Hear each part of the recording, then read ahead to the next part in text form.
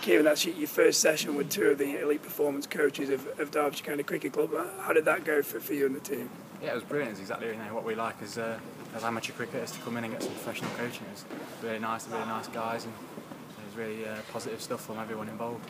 Is this your first first session back of the year, and, uh, and how was it for you? We've had a few nets, just a few, um, couple of hours in here, just working, you know, just normal net stuff with uh, the players helping each other out. So it's not quite as structured as the session we just had. It was much more impressive, much more professional.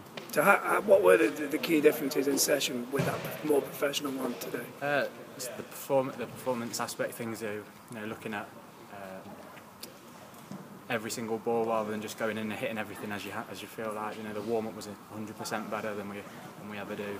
Um, it was just a lot more intense, a lot more focused as well. Because we've got professionals here. You know. How does it work for you guys now then for, for the university cricket season? What, what have you got to look forward to? So we have a, we have a BUCS indoor competition on Sunday.